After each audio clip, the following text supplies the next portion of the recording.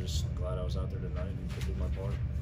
How about, how about on the on the fumble recovery there? Did you take a, a Yeah, shot I took or a two pretty there? good shot, got Yeah. folded in half, but I just saw the ball, grabbed it. Next thing you know, I'm at the bottom of the pile. So is this the game that you won with the field goal, or the one that you won the, the fumble recovery? No idea. That's up for debate for y'all, I guess.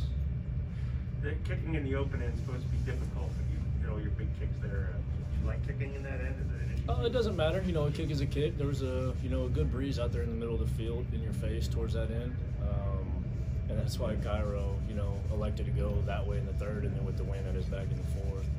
Um, but I mean, a kick is a kick. There's going to be wind in every stadium we play, you know, unless it's indoors, obviously. And you just got to adjust and you just got to make a kick. No one really cares about wind at that point.